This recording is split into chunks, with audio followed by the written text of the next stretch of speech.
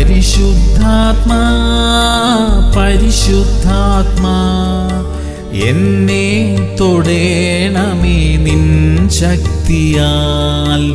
ബലഹീനമാം ഈ മൺപാത്രത്തെ അത്യന്ത ശക്തിയാൽ നിറയ്ക്കണമേ.